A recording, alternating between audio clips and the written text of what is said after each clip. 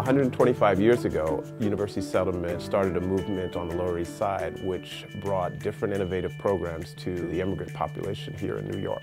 This was the densest neighborhood in the world, teeming with immigrants. This was kind of an urban left behind neighborhood where people with very little money could afford to stay and live. University Settlement was providing services before others like the City of New York were willing to take them on. They put people in these places that had been educated to live in the communities. The vision was to improve the neighborhood however they could. University Settlement has a history of innovation going back 125 years to the present. The University Settlement founded the first kindergarten in this city. And one of the first senior centers in the country. Now you have Head Start and daycare, after school, mental health, older adults programming, language programs, housing assistance. Those are all programs which grew out of what settlements did 100 years ago. Now you would consider them part of what the public sector does.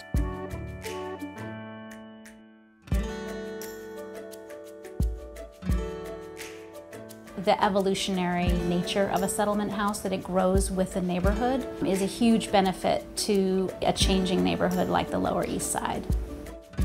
We're innovative in our approach in terms of thinking of programs that have not been done before, that are needed in the community. The settlement's array of programs reflects a much more engaged sense of community investment and a much more comprehensive sense of what this particular community needs.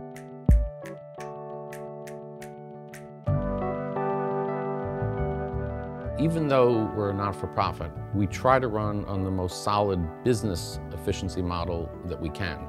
We put our resources to good use. We've learned how to survive tough economic times, and when there are other nonprofits that are struggling, we find they often turn to University Settlement House to help them out, perhaps to be acquired or where we subsume some of their services.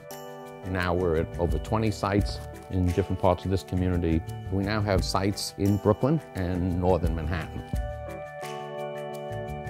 University Settlement has been at the forefront of addressing family needs. We aim to really provide um, a holistic family experience. We work with families who are working extremely hard to make ends meet.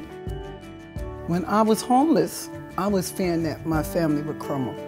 They give me the tools to become self-sufficient. Seeing smiles on my girl's face, I feel I can do anything. Anything is possible. It's not just about one individual, but how you're really working with the entire family and getting them to a better place in life.